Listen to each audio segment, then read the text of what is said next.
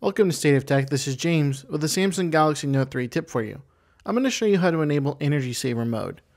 So we're going to swipe down from the top, go into our settings, come here to our general tab up top, and scroll down until we see power saving mode. I'm going to go ahead and turn this on and then tap on it to be able to change and customize the settings. Right now with power saving mode, it's going to limit my CPU power, turn my screen saving on, and turn off the haptic feedback, which is any of the vibration sensations that you'll get on the phone with the touch inputs. Now I can go ahead and go ahead and uh, disable any one of these. So I see I turned it off by disabling all three of them. And if I want to, I'll just go ahead and enable the um, screen power and the haptic feedback, but I'd rather have my CPU run at maximum power.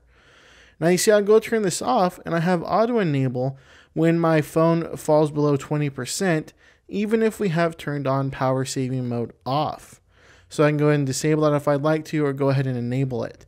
Now this is just going to help us save our battery if we have any of these features turned on and help to maximize the battery life of our Note 3. And that's how you're going to enable power saving mode on your Samsung Galaxy Note 3. And for more Note 3 tips, be sure and visit stateoftech.net.